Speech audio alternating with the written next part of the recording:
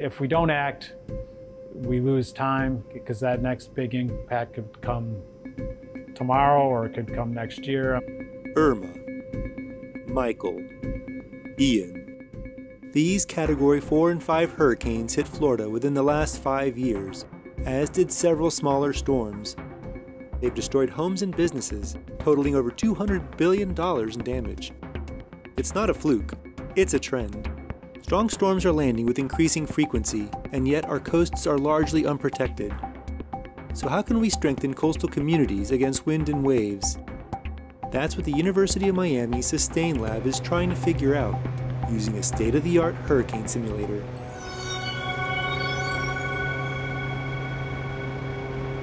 So you can customize a hurricane, create a hurricane, build a hurricane, and study specifically what you want. So this is a computer that controls wave. Soon, um, Payson Tan will activate this 1,460 horsepower fan to unleash a hurricane within this 38,000 gallon tank. Payson and the rest of the Sustain team are developing solutions to help communities withstand hurricane waves, which on the coast cause more damage than wind. First, they must understand how waves form and how they transmit energy.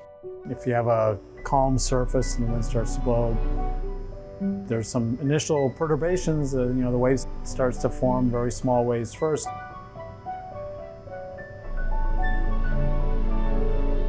This is a monochromatic wave with a 7 centimeter amplitude, which is like a rough wave in the ocean. Over time and distance, the, the waves continue to grow as the wind pushes on the forming waves. And now I think we're already in a Cat 1 intensity right now. There are tons of sprays and bubbles all over the water surface. The wind is pushing against that water and adding energy to the water, energy, energy and momentum. So as that wave continues to propagate and grow, all that wind energy is going into those waves and they can become very large. Because of the weight of water, the larger the wave, the more energy it transmits. One cubic foot of water is 64 pounds. If we take four cubic feet of water, it's basically the average weight of an NFL player. Now imagine an NFL player running into you and basically tackling. you. Now imagine a sea of NFL players coming into you and then coming again and again. We're at a Cat 5 full intensity right now. The sea sprays are going all the way out.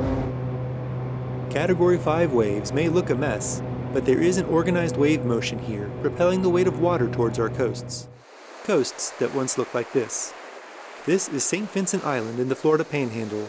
It's a national wildlife refuge, and a glimpse at what had once been one of Florida's best natural defenses against hurricanes barrier islands. You know, over the pre-settlement times in Florida, the barrier islands were natural. They basically served the function of protecting the mainland from storms and things like that. Florida is further protected by other natural systems. Natural systems like salt marshes, seagrasses, oyster reefs, coral reefs, even mangroves, they all kind of protect us, but they all need space and time. In much of Florida, these natural systems have been replaced by human structures built directly on the coast. Miami Beach, for example, is built right on a barrier island. The Sustain Lab designs barriers to protect those hotels and condos from wave energy. The challenge is to engineer a barrier that will slow down the waves in the same way natural systems would. Their designs are tested in the hurricane simulator. So what we want to avoid is that that energy transfers by impact into the structures. Traditional construction of things like seawalls. So a seawall doesn't take any energy out, it bounces energy off of it. But sometimes this also worsens up the conditions in nearby areas. The key thing for waves is they go into things like salt marshes, oyster reefs, seagrasses, mangroves. They disrupt the motion of the water. If we can actually dissipate the energy by breaking the waves, so turbulence, and you do it on the right locations, when they arrive at the shoreline, you'll have less impact. To do this, Sustain has developed a hybrid approach called SeaHive that combines engineering with natural systems. The sea hive is a way to replace a traditional sheet pile seawall with something that is perforated, something that can dissipate more energy locally as opposed to just reflect it, which is what happens with the seawall. The units are hexagonal, hexagonal prisms, hollow in the inside, with a series of holes on their side faces. So what happens there is we pile them up vertically or horizontally.